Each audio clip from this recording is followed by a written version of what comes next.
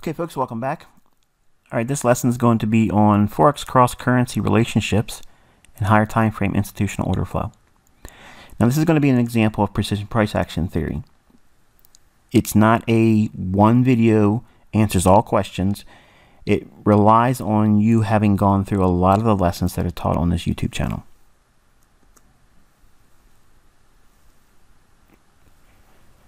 All right, cross-currency relationships and higher time frame institutional order flow. What are we going to talk about? Well, I'm going to unravel a mystery of cross pairs. I'm going to show you how to determine which pair leads, how to determine which pair stalls, how to use this insight in order flow, and find explosive price swings as a result. How do we do that? Well, it starts with the economic calendar. All right, so let's zoom in here and take a quick look at what this particular week is. Now, the time of this recording is Tuesday. The calendar week would be September 7th, 2020 to September 11th, 2020. You can clearly see in the U.S. on Monday, we had bank holidays for the U.S. and Canada. Looking through the calendar, the only thing we have for Euro appears on Thursday. So we have Thursday's economic calendar having a large high impact event and nothing going on the cable front. Nothing really to speak of. So the only economic driver we have for Euro is on Thursday and it's high impact and nothing on cable. So if we are looking for explosive price action moves, that means that euro is likely to be stunted. Okay, in other words, held back because it's waiting on a big impact news driver on Thursday. And cable has nothing, so it's allowed to trade however it wants to trade.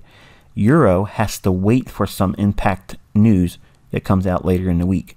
So right away, there's your clue that euro is likely to be held in consolidation and later in the week allowed to be more explosive. Okay, I'm not to mean that it will be an explosive price action move. It just means that using this idea helps you focus on which pair will be strangled, okay, or held in consolidation, whereas the other pair, cable, which is not being seen at all in the economic calendar at all, that implies that it will be allowed to trade more freely and less manipulation. And the manipulation will be where? In Euro. So let's go to the charts and I'll give you a little bit more insights on this and how we can flesh it out and give it a little bit more process oriented approach. Okay, folks, we are looking at the euro pound on the right and the dollar index or Dixie on the left. So now when we look at price action and we're comparing the dollar index as a barometer. If we're looking for higher prices on dollar, we would be reasonably expecting lower prices in foreign currency. And if the dollar were expected to go lower, we would expect to see bullish prices or higher prices on foreign currency.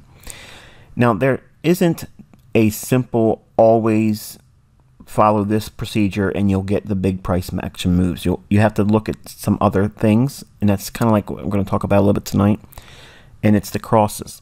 So the relationship between crosses. Now, obviously, there's a cross between dollar and euro, and then we have that as the euro dollar. But when I say crosses, I'm referring to foreign currencies crossed with another foreign currency, not that of the dollar index. Okay, so that way we understand each other going forward. We're going to assume for the moment that we have been bullish on the dollar index. Okay, for the sake of discussion. Um, my students know we were and have been now for a period of about a week or so bullish on dollar. Now, if you look at the relationship between the dollar index daily and the euro pound daily, they both, from September beginning, have seen a price rally higher. Now,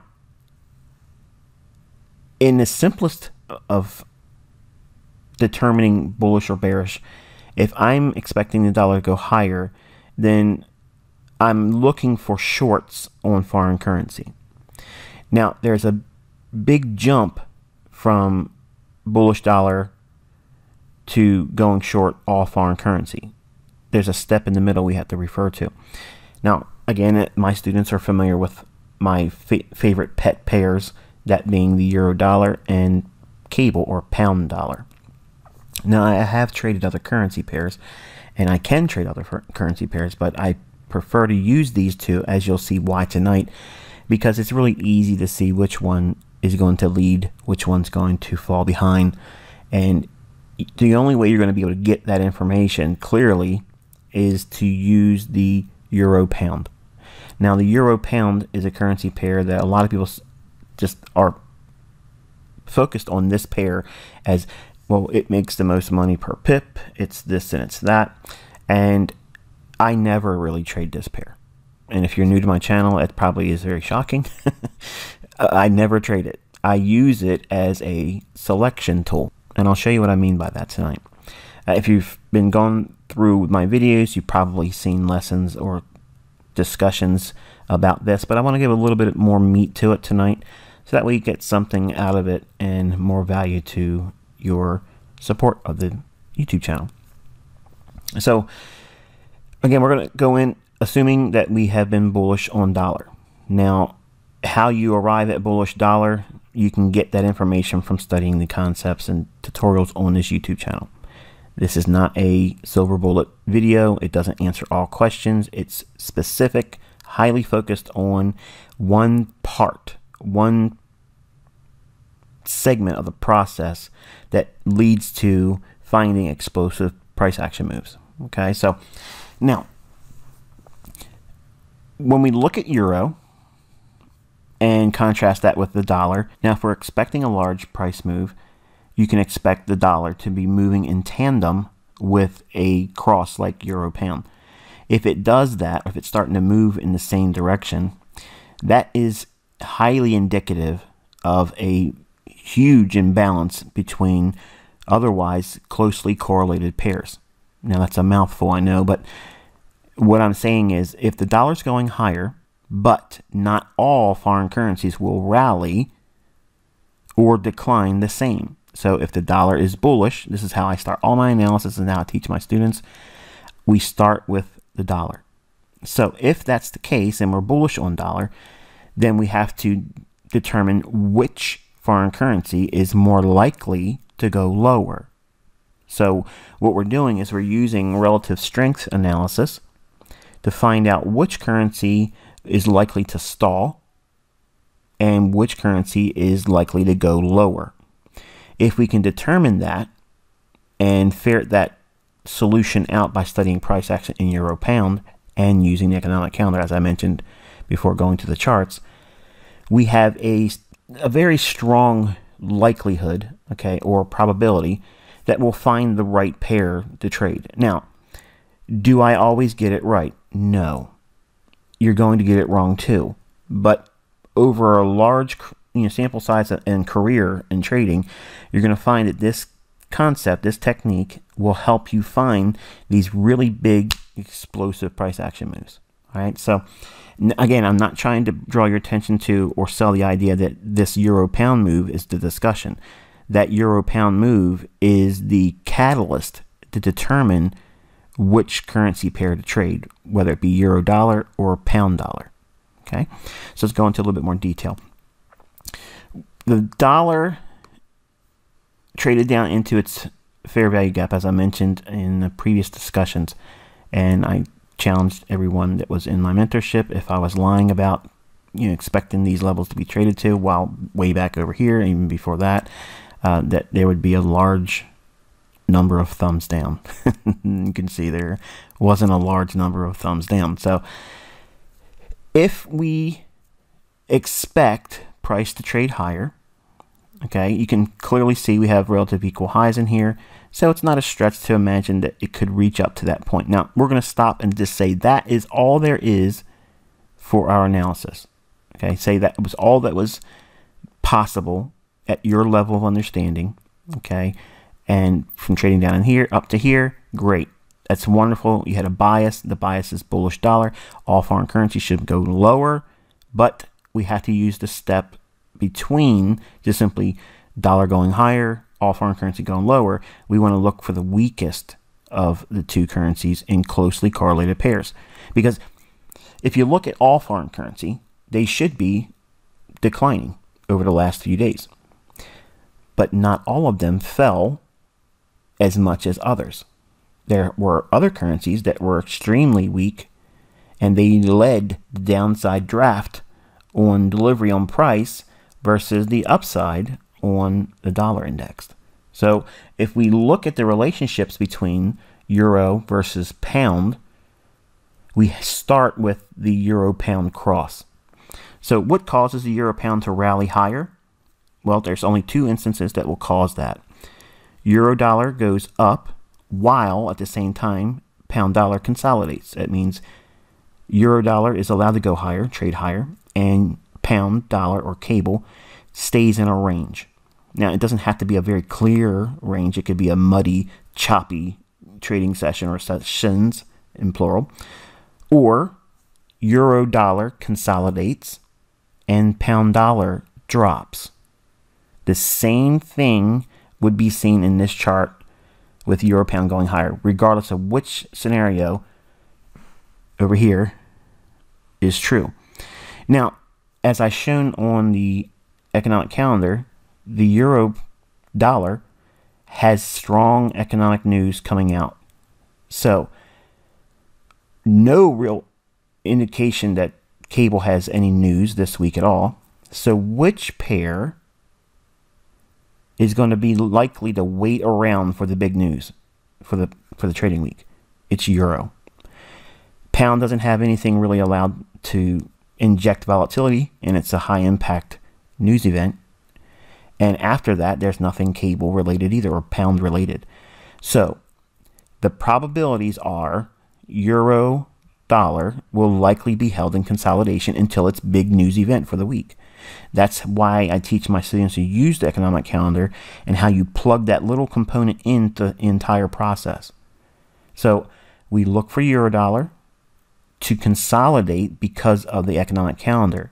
So if the economic calendar hints at it's likely to consolidate, then what does that imply if we are also bullish on euro pound? The scenario is going to be euro dollar consolidates and pound dollar drops. So right away, we can clearly see that there's an advantage to not trading short euro, not going long euro, but selling short pound dollar. So now if we take a look at euro versus the dollar. All right, so here's the euro dollar daily chart. And you can see we are in a rather large consolidation on euro. And my students know that this whole entire time we have been really reluctant to have large intermediate term analysis calls on this pair at, after where we've traded to here. I wanted 120, we got 120, and now we've been sitting on our hands for euro.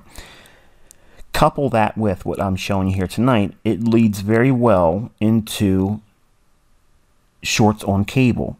And you'll be able to see some of the things I've actually taught on this YouTube channel, how they fall into place just perfectly. So we can see there's consolidation in here on Euro. We don't have to really go through a whole lot with this, this pair. If you break it down into a hourly chart, and compress this a little bit. You can see while we are drifting with the strength in the dollar lower, it's still consolidated and not really expanding on the downside. In other words, there's not a lot of momentum for this pair euro dollar to you know cross a lot of ground on a bearish price swing. So we did take out equal relative equal lows. We did sweep through that. It just hasn't had a lot of expansion on the downside. If we look at the cable market in relationship to what we've seen here, there's a stark contrast. Right away, you can see that this market has a lot more symmetry. That means the price action is much easier to read. It's much more explosive. It wants to reach down for lower price objectives. And I'm going to show you this magnified and we'll zoom in a little bit. All right, so here's Friday's price action. and I'm showing Friday's high and Friday's low and splitting that range in half. So if we are going to be bearish, the best sell scenarios are going to be in the lower half of that range or that Friday's daily range.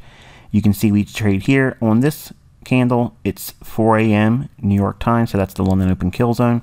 You all are familiar with that if you've been studying my content on this channel. Up close candle here, that's your bearish order block. Price trades up into that, closes in the imbalance, trades to this candle's low. What's that low? 132.38 and one pipette. And the high on this candle comes in at 132.38 and seven pipettes. So thirty-eight 38.7, 38.1. So it went six pipettes a little bit further than it needs to just to trade into this candle creating the high in the London session, and price breaks down, and then we start to consolidate. Now, we are in a long period of consolidation in here, but look where it's staying. Okay, it's staying below the previous day's low, and the next trading day starts here at midnight on the 8th of September, and the high forms. Where does it form? Does it cross over the Monday's 50% of the daily range? No. So the short forms in the lower half of the previous day's range, which is Monday's trading, and again in London Open, 2 o'clock in the morning, New York time, creates the high in London, and then we sell off aggressively. And then during this period here, that little shaded box, that is the 8.30 to 11 o'clock New York trade session I taught for the YouTube channel. Now there is a New York session kill zone, okay, and or New York Open kill zone. Then if you watch my tutorials here, you learn about that.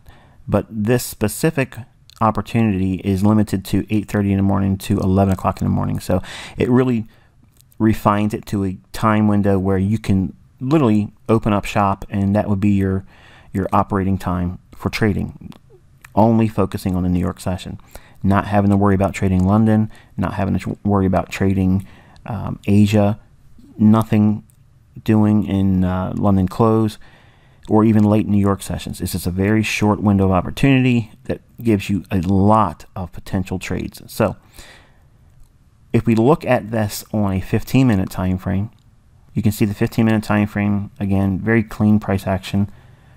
Lots of expansion down. We create this retracement here ahead of New York Open.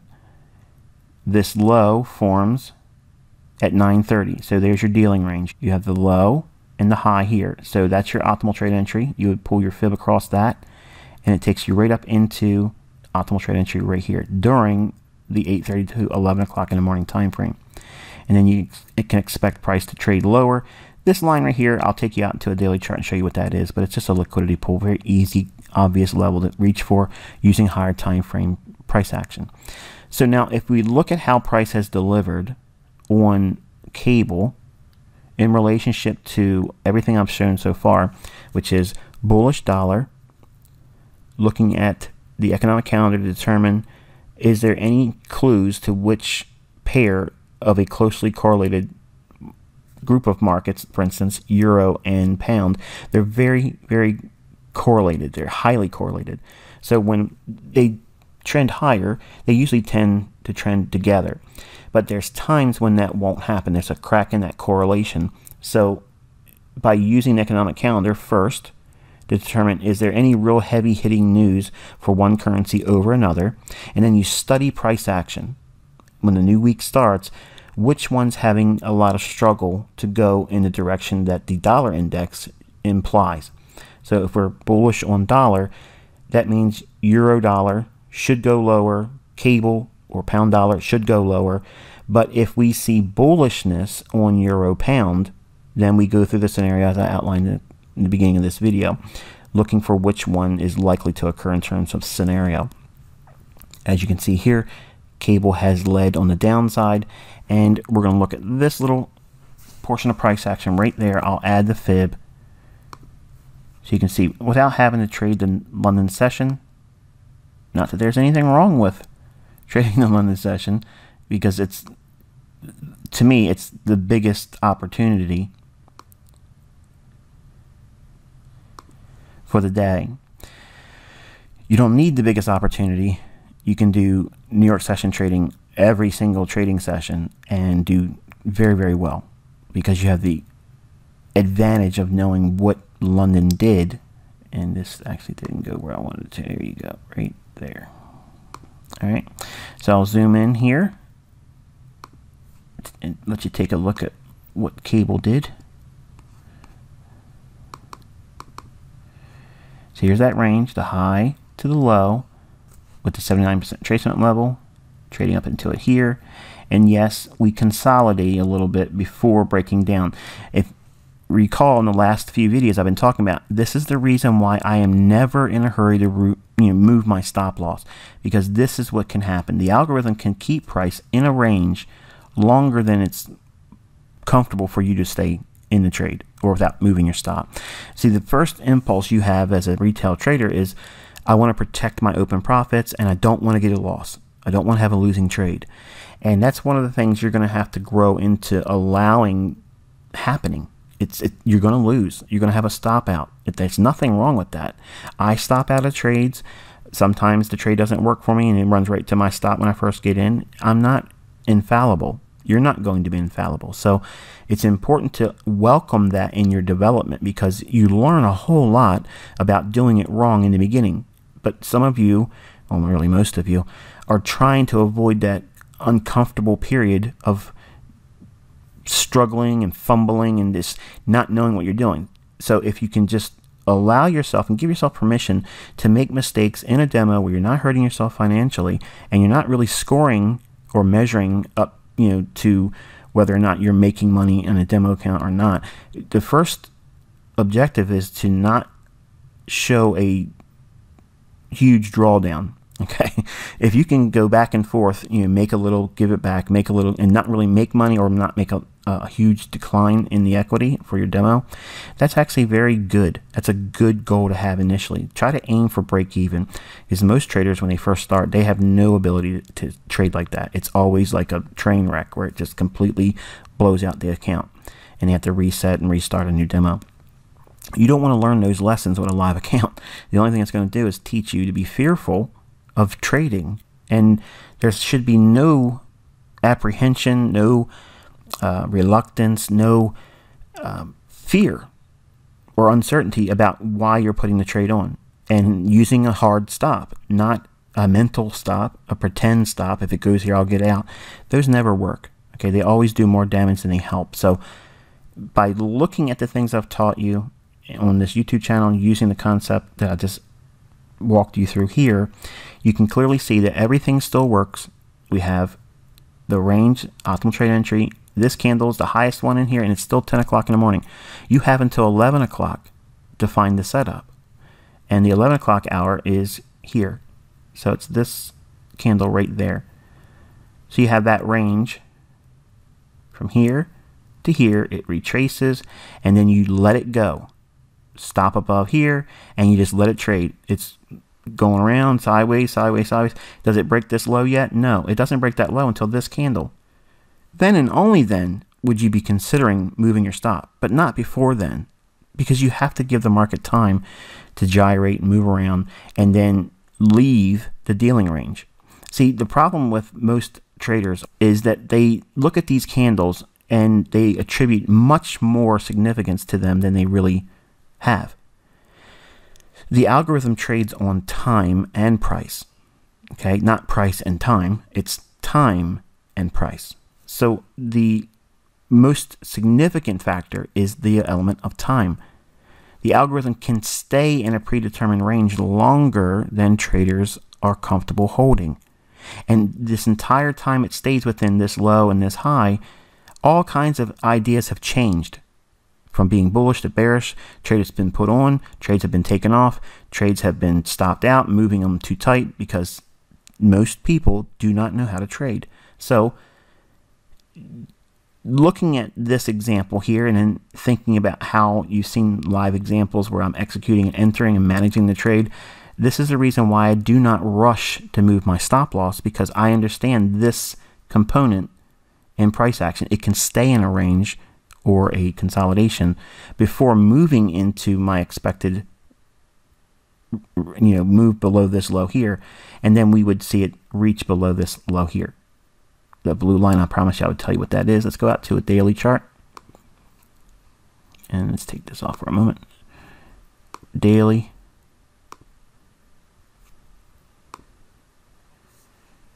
Okay. And you can see this low right there. You see that? So we have this low all the way up to here. So this is the dealing range we've been working on the daily chart. So liquidity rests below that low, and I'll add the annotations back on, and you'll see it. There's that low, that blue line, and it trades down into it and below it. All right, so I'm certainly not saying that's the actual end of the move. I'm not implying that at all. I'm just saying that that was a level that you could reasonably expect to see it draw to. All right, so all right, so hopefully you got something out of this. Uh, a lot of things I've provided here. If it went over your head, I promise if you've spent more time in the tutorials on this YouTube channel, it'll fill in the gaps. Not all the gaps, it won't fill in everything, but it will give you a greater understanding about why these pairs do what they do and how they use the crosses to find the explosive price action moves. Until I talk to you next time, I wish you good luck and good trading.